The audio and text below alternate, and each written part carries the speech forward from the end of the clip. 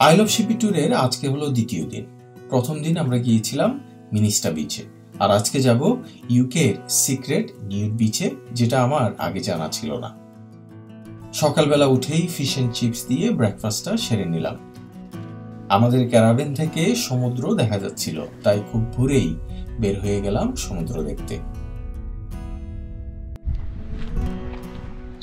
Good morning everyone মাত্র ঘুম থেকে উঠে এর পাশে আসলাম। So,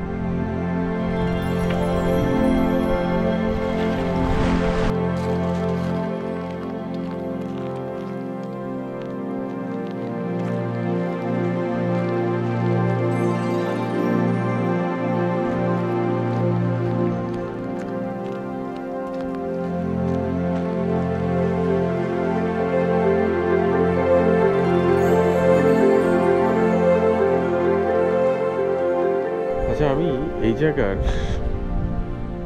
আপনারা আসলে কি সুযোগ সুবিধাটা মানে কি, কীভাবে আসছেন সেটা একটু বলি। সো এটা হচ্ছে রোড হ্যাঁ? রোডের রোড দিয়ে আপনি গাড়ি নিয়ে আসতে পারবেন যে কোনো জায়গায়। আর গাড়ি নিয়ে এই রোডটা একদম সমুদ্রের পাড় ঘেঁষে একদম অনেক দূর চলে গেছে।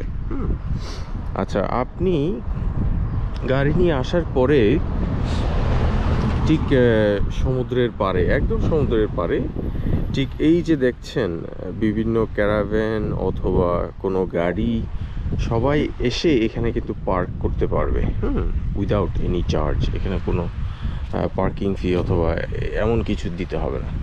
সো তার মানে আপনি গাড়ি নিয়ে সরাসরি এসে ঠিক নদীর পাড়ে আপনি গাড়ি পার্ক করতে পার- পারবেন এবং রাতের বেলা যদি আপনি গাড়িতে থাকতে চান আপনি তাও পারবেন কোনো সমস্যা নেই সো একদম সমুদ্রের পাড়ে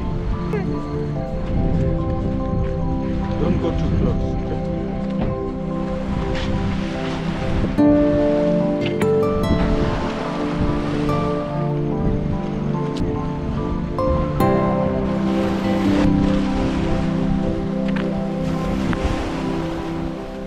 এখন যাচ্ছি এই রোডের শেষ মাথায় শেলনেস বিচে। এখান থেকে মাত্র তিন থেকে চার minute driving distance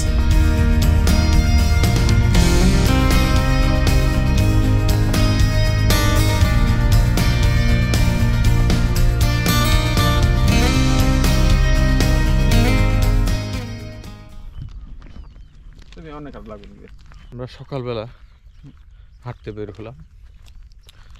hiking hiking তো হবে না যেহেতু পাহাড় পর্বত নাই সো হাঁটাহাঁটি আর কি। সো এই পাশটা আসা হয় নাই এই পাশে দেখা যাচ্ছে বিভিন্ন ফিশারম্যান বড়শি দিয়ে মাছ ধরতেছে। এখানে আমাকে নিউড বিচ চিন্তা করে মনে হয়। নাকি? পড়াশোনা করে নোট বিস তার মানে কোনোদিন একুশে পর না পড়লে হয়।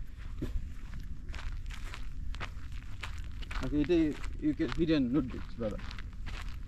হতে পারে। হতে পারে এইরকম নোটিস তো কোনো জায়গায় দেখি না হ্যাঁ আপনি দেখছেন।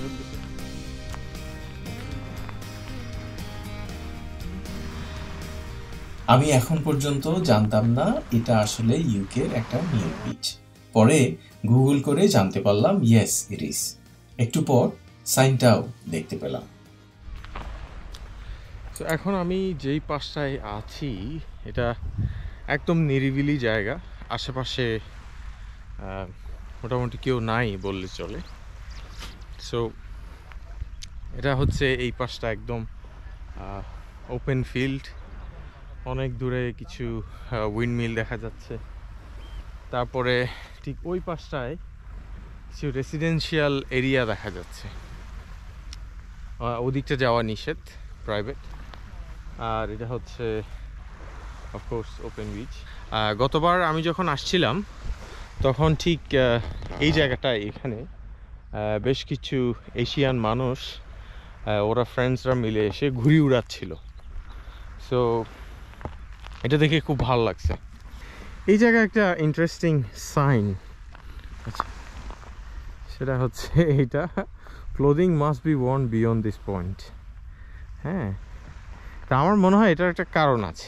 কারণটা হচ্ছে বিশেষ করে এই সাইডগুলোতে আপনি উইদাউট ক্লোথস আপনি থাকতে পারবেন নো প্রবলেম দ্য রিজন ওরা এই নোটিশটা দিচ্ছে সেটা হচ্ছে ঠিক এই পাশটায় রেসিডেন্সিয়াল এরিয়া সো যেহেতু এই সাইডটা রেসিডেন্সিয়াল জোনের পাশে, এর জন্য without clothing is not allowed is not permitted basically